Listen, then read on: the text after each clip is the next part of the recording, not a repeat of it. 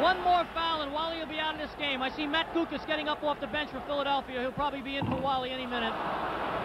Here comes Guokas in. Wally Jones going out.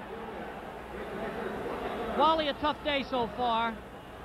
Five personal fouls. There's Guokas who replaced him, number 14 for Philadelphia.